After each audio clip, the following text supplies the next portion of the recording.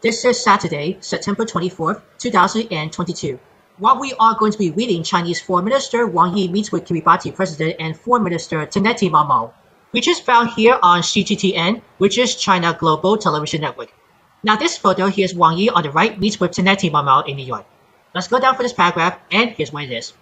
Chinese State Councilor and Foreign Minister Wang Yi met with Kiribati President and Foreign Minister Taneti Maamau on Friday on the margins of the 77th UN General Assembly in New York.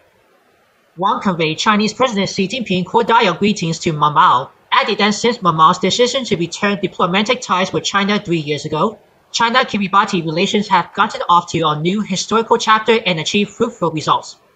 The Chinese side is satisfied with the status quo of the China-Kiribati relations and is full of confidence in the development prospects, Wang said. I usually share that we only fourth a paragraph or so on. I'm just giving you guys a scroll down. I'm probably sure this might be a whole bunch of this article. That's about only 58 thumbs up. If you want to read more, I'm going to put this link right here on CGTN into the description box below. Now, in New York, if you have any query about Wang Yi met with Mao, write down in the comments below if you want to say something. Make sure to view always watch for sharings. Always subscribe my channel. Click the bell to see all notifications about the new videos and the latest video. As always, I will see you then.